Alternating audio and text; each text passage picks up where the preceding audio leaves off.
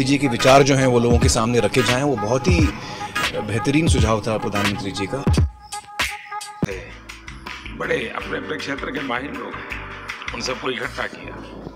मैं आपसे सुनना चाहता हूँ आपके अनुभव आपको क्या लग रहा है?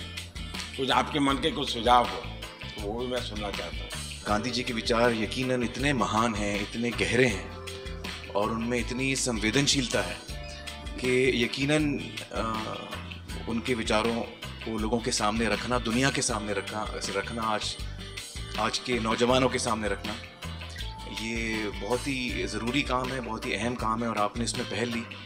आ, उसका मैं बहुत बहुत शुक्रिया करता हूँ।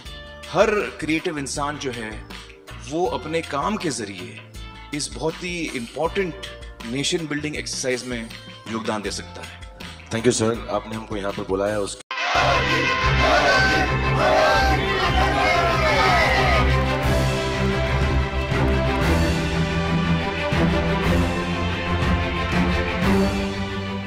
Yoga means to unite.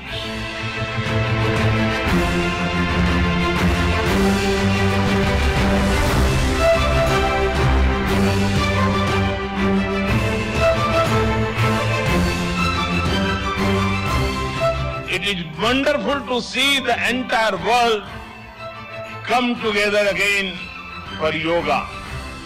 I, I think that this event and, and Prime Minister Modi has done a wonderful thing. I think India is going to be more and more important as the years go on. Yoga really helps unify the world, and it's really great for the world to share on this day. People get to cherish and harmonize and love and peace.